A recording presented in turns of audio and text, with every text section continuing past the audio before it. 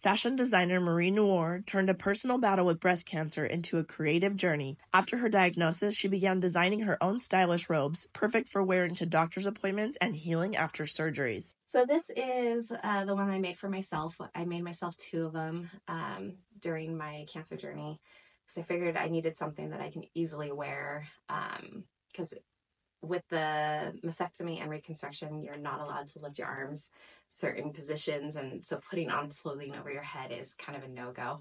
And I love stretchy knits, so all of my wardrobe is that. So when it came down to the actual surgery, I was working on my one of my clients' orders and had an idea. And instead of adding the sleeves, because I knew my body was going to need to heal certain wounds and things like that, so I keep them sleeveless for that purpose, for the healing process.